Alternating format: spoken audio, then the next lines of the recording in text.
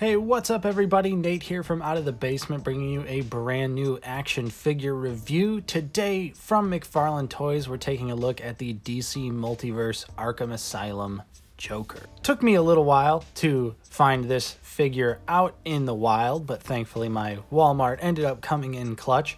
Of course, I've already taken a look and reviewed Batman. If you haven't checked out that review, I highly suggest you go take a look. So, super excited to check out the Joker. Of course, I think, uh, you know, spoiler alert, I already took him out of the package, but I think he is the superior figure out of the two. So, let's take a quick look at the package here. Of course, you got the window box with the Joker. You can see all of his accessories. DC Multiverse, the Joker.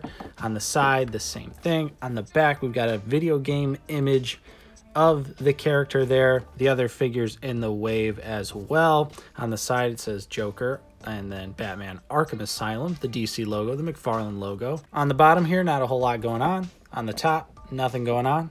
So let's go ahead. We're going to take this guy out of the package. We'll look at the accessories and then the figure itself. As always with these DC figures, you get the stand and the card that are actually uh, attached on the back card right here so you have to rip them off if you want to get them personally i don't like to do that. I don't think it's really worth it for the card nor the stand. Okay first up we have a closed set of the chattering teeth from the game the little wind up things that you got to hit with the batarang and they look pretty nice. You can see they uh, look like the chattering teeth in the game you got some nice silver paint right there for the wind up feature the gums are a nice pink and the teeth are painted white with a little bit of a black wash all throughout the teeth here. So that looks pretty nice. Pretty good accessory to come with Arkham Joker. Then we also get a set of open teeth here, which again, look really nice. Pretty much the same standard quality there. You can see there's the little gear right there, which is a little sloppy, but the teeth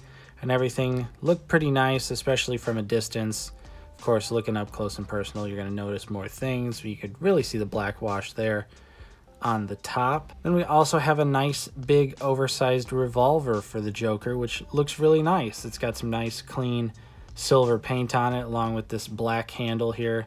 Looks really good. Sculpt is nice. It off the top of my head looks like a weapon the Joker would use. I'm not quite sure if he had a revolver like this in Arkham Asylum, which is pretty embarrassing because I just played the game literally this year and I've already forgotten about it. So uh, I'm just going to go ahead and say, yeah, he had this in the game, but it looks good and it fits with the character, fits with the aesthetic of the game as well. So overall, some pretty nice accessories. Not a whole lot coming with them, but now let's take a look at the actual figure. All right, and here is the Arkham Asylum Joker out of the packaging, and he looks absolutely fantastic. Of course, just to get it right out of the way, definitely doesn't look 100% super accurate to the game, especially in the face, but from the neck down, game accuracy is off the charts. And I think the head still looks pretty good. It still looks like the Joker,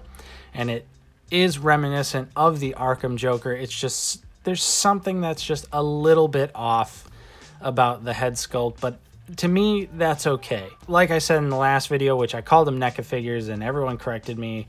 Uh, for some reason, I thought they were NECA, but the old DC collectibles, Arkham stuff, uh, just is very expensive now. And honestly, I've seen some side by side images, and I think that this one might even look better than the original release from back in the day. So let's go ahead. We're going to take them off the stand. We'll take a closer look at the details and then we'll take a look at the articulation. All right, up close and personal with the Joker. And you can see here that the head sculpt still does look really nice. He's got some nice furrowed brow sculpting in there. It's kind of hard to see because my lights are so bright. But he's got the nice green hair with the black wash and it looks pretty damn awesome all the way around. Really nice sculpt work, the sort of slicked back, stylized look. He's got that nice grin as well. You can see the teeth in there are painted pretty well. And along with the face, some really clean red paint for the smile. The eyes are a little googly, not too bad. Of course, I had like three or four to pick from. This was the best one I found. But like I was saying, the head still, while might be mildly off from the actual game, I think it's Still very reminiscent of that version of the Joker. Moving down, you can see the suit has some really nice sculpt work there that actually looks like some real cloth. You can see all the stripes in the purple there. That looks really amazing. Really, really nice sculpt work on that. And along with the undershirt right here, you've got a nice gold button look along with the yellow shirt with a nice black wash over it, just to give it that little bit of detail. Same thing with the flower there. Really nice detailing on that. He's got some gold buttons on the jacket that are painted very well. The buckle down there, which is also painted very well and has some nice sculpt work in there. I think it's supposed to be the Joker on the belt as well. And you can see that the belt, the actual belt is sculpted and painted on there. You can see the black running through the figure. And it even goes all the way through to the back of the figure there, which is awesome. Missing some gold paint on the back of the jacket, though. The chain right here is also applied very well and it's sculpted on there. It's actually raised out. Really, really nice, wonderful details there. And moving down, not a whole lot of paint, just more purple plastic. And the shoes also look very nice. They have that white paint applied to them as well. Looking very good. The details are very nice on this version of the Joker. The hands are also really nice sculpted glove work there. The ruffles right here also have that yellow with a black wash over it just to bring that little bit of detail out there. So yeah, the sculpting and the paintwork on Joker is absolutely incredible, especially for a $20 action figure. The unique sculpt, the amount of sculpting on the figure just looks absolutely fantastic. And uh, I think, again, like I was saying with Batman, McFarlane is heating up they're showing us what they're really going to do with DC characters, and this Joker is definitely a shining example of what can be done. So let's go ahead and take a look at the articulation. For the head, the Joker can look up about that far, and he can look down pretty far as well. The head is on a ball, so you can rotate it around, give him some attitude, some nice cocked head poses. It looks really great, and it functions very well. Get a lot of little nuanced poses out of the head. Looking really awesome there. Shoulders move out very far. He also has the butterfly joints, although it really is kind of hard to get it functioning on this figure because the chest piece is soft here. So I'm going to say those are pretty much useless. It is still nice that it's there, but yeah, you don't really get much out of this because this is so soft. It sort of is working against the joint there. You got the bicep swivel and double jointed elbows that give you way more than 90 degrees. That's absolutely awesome. Of course, you have the McFarlane ball joints in the wrist that can move side to side or up and down. Although for the Joker, it is hidden in the wrist, so it looks really good. But at the same time, it is very hard to get it to manipulate to move to the other direction. So I have, thankfully, mine out of the box came with the up and down, which is what I would prefer for a gun holding hand. But uh, if you want to manipulate it to the other side, you're gonna you're gonna struggle a little bit with that. For the ab crunch, Joker can move down very far, although he wants to pop back up. But you can see that the range of motion keeps going there with this soft material there. Of course, it gets a little bent as well, but without it wanting to move back up. That's what you get going forward and going back. Crazy amount of range there. You can see all the way up. It's hard to see on camera, but you can see all the way up in there.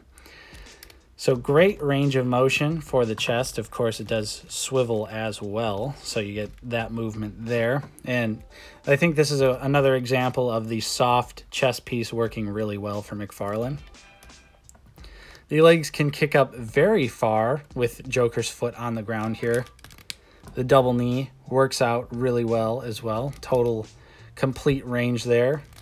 Really, really nice articulation. He does also have a little bit, ever so slight thigh swivel right there. I'm not sure if it's actually supposed to be like that because this leg doesn't really do it, but this one kind of does. Who knows? Might be frozen. And for the feet, again, you have the McFarlane ankle hinges, but the foot goes down about that far.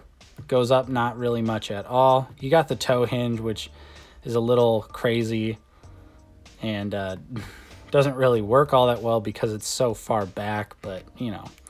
And of course, you get the ankle pivot. And again, the feet are probably the biggest oof for the articulation just because the sculpt work here gets in the way. So now that we looked at the articulation, let's go ahead and compare him to some other action figures.